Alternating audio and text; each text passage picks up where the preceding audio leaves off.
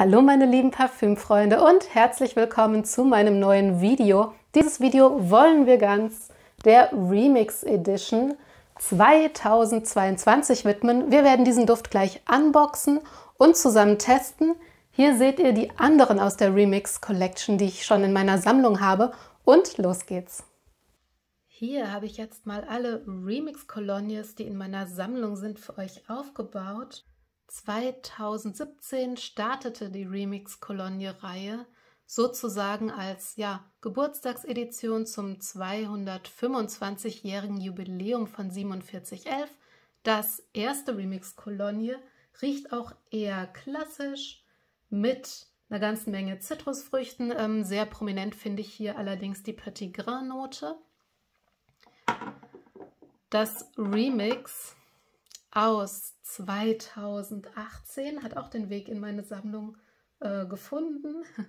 Dieser Duft dreht sich ganz um die Orange. Wir haben hier allerdings auch noch Teenoten mit drin, was mir sehr gut gefällt.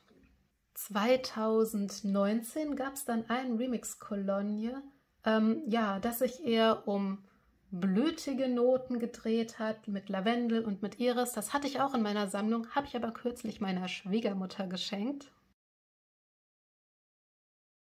Remix Cologne Edition 2020 mit eher zitrischen Noten konnte mich bisher noch nicht so ganz überzeugen. Ähm, vielleicht hole ich es mir aber dennoch in die Sammlung, einfach um sie komplett zu haben und ja, weil es für den Sommer sicherlich auch ein schöner Duft ist. Und die Edition von 2021 ist, sage ich mal, die süßeste und verspielteste Variante. Hier haben wir jetzt Noten von Pfirsich enthalten und Orangenblüte. Und ich bin ganz gespannt, wie mir jetzt hier diese 2022er Edition, die sich ja um Grapefruit drehen soll, ja, wie sie mir gefällt. Und wir packen sie doch mal aus. Ich habe sie nämlich noch gar nicht gesehen. Ah, okay. Mhm. Also, wir haben hier so ein Palmendesign drauf. Ich weiß aber nicht, ob die Farbwahl jetzt so gelungen ist, weil sie sich doch, ja, naja, sie sind schon ein bisschen unterschiedlich. Aber ich habe auch schon Stimmen gelesen, die gesagt haben, dass sie sich im Duftprofil auch ähnlich sein sollen. Hier haben wir jetzt in der Kopfnote Grapefruit, Yuzu Blutorange, in der Herznote Magnolie, gelbe Fräsie, Orangenblüte und in der Basis Sandelholz, geräuchertes Holz und Moschus. Ich hoffe jetzt, dass die ja, Zitrusfrüchte in der Kopfnote relativ spritzig rauskommen und dass das geräucherte Holz nicht zu stark ist. Schauen wir doch mal. Hm, riecht am Sprühkopf jetzt eher süßlich, aber ich bin mal gespannt, wie er mir aufgesprüht gleich gefallen wird. Wie schön, dass ich jetzt nicht mehr so schreien muss, da ich ein Mikrofon habe. Wir sprühen jetzt diesen Duft. Von außen rieche ich, ja, was süß-orangiges. Ich habe jetzt gehofft, dass es ja, da es ja die Grapefruit-Blutorangen-Edition ist, dass er ein bisschen spritziger rauskommt. Aber, wo ist denn hier der Sprühkopf? Das werden wir mal gleich verifizieren. Ach, was soll's.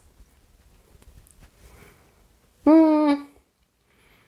Süß, orangig, orangensaftig gefällt mir ganz gut und erinnert mich an Biotherm.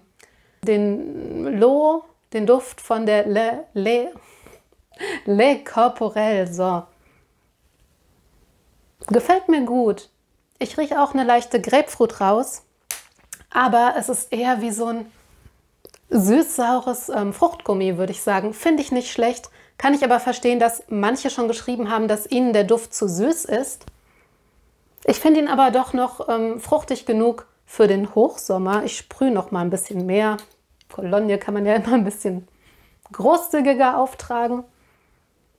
Ja, ich lasse ihn jetzt mal ein bisschen einwirken. Wahrscheinlich ist er bei mir sowieso nach ein, zwei Stunden schon fast verflogen. Aber ich ähm, melde mich gleich nochmal bei euch, wenn eben eine gewisse Zeit vergangen ist, um euch zu erzählen, wie er sich jetzt so auf meiner Haut entwickelt hat und wie lange er tatsächlich bei mir gehalten hat. Da sind wir wieder. Eine Stunde ist jetzt etwa vergangen. Colognes halten auf meiner Haut nicht besonders lange, so ja, nach einer Stunde gehen sie in die Herznote über und verschwinden dann langsam. Ähm, ich habe jetzt den Eindruck, dass die Blüten sehr viel stärker zum Vorschein kommen, finde ihn aber nicht ganz so ähnlich, wie viele geschrieben haben, ähm, zu dem Remix-Kolonie von letztem Jahr, was sehr viel süßer ist und auch ein bisschen pudriger wird.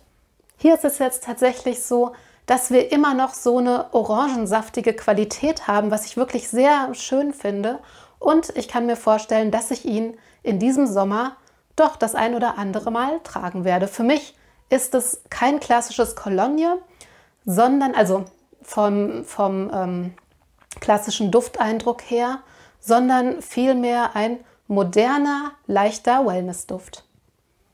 So, meine Lieben, vielen herzlichen Dank fürs Zuschauen. Ich würde mich freuen, wenn ihr das nächste Mal wieder mit dabei seid. Bis bald und bleibt gesund.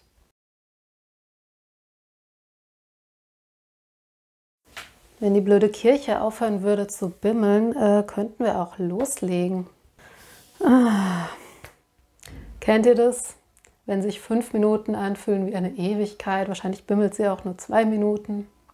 Aber ausgerechnet jetzt, wenn ich mein Video drehen will,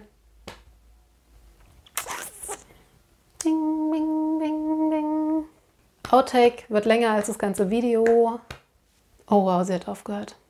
Die Leute haben immer zu mir gesagt, dass äh, meine Stimme nach ASMR klingt. Weil ich Möchtest